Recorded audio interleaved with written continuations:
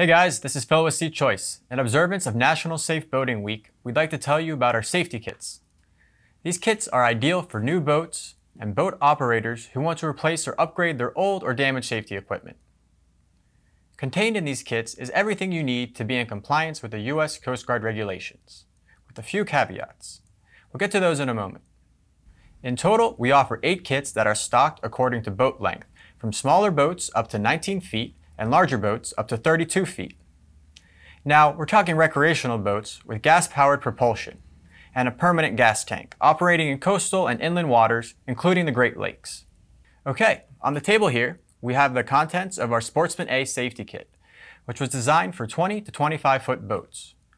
It includes four Type 2 adult-sized life vests, plus one throwable flotation device, one audible signaling device, approved for boats up to 65 feet, and one Type 10BC fire extinguisher. This kit also contains a 12 gauge flare gun and four shells, approved for day and night use. The requirement is three, but we supply one extra shell in all our kits.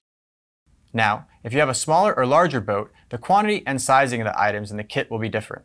For example, our smaller kits have handheld flares instead of a flare gun, and our larger kits have six adult-sized life vests instead of four. These kits will satisfy the minimum Coast Guard requirements, meaning there are additional items they would like you to have on your boat, including an anchor.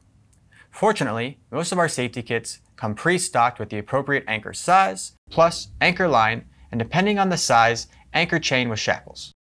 We also include up to four lengths of our premium dock line, and this storage bag, which will accommodate almost everything in this kit. Okay, I mentioned caveats, and there are a few important ones you should be aware of. I'll put them up on the screen for you.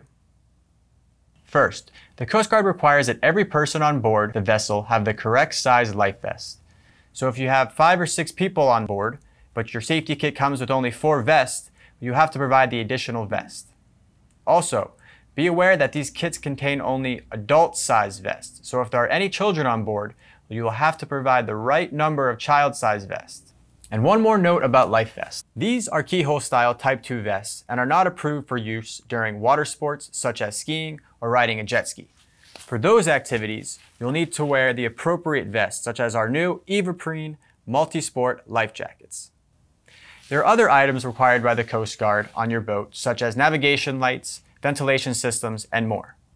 And you may also prefer to have more than one type of visual or audible signaling device on your boat such as an orange distress flag or a whistle. Although Seachoice does offer some of this equipment, it is not included in our safety kits. For a complete listing of what's included, please go to seachoice.com and click on Products to see our digital catalog. Information about our safety kits is provided on pages 54 and 55. If you do purchase one of our safety kits, let me first say thank you, and second, make sure to unload each item from the bag and sew it in the appropriate location on your boat. The Coast Guard has a lot to say about where to stow your safety equipment in their boat safety booklet. There's a lot of critical information in there, so if you haven't read it, please do so. I'll provide a link to the electronic version in the description below. And for your convenience, if you do buy one of our kits, the Coast Guard booklet is included. Finally, we highly recommend you also check your local and state boating laws, just to make absolutely sure you have all the right safety equipment for your area. Okay guys, we hope this video has been helpful. If you have any questions, please leave them in the comments below, and we'll see you out on the water.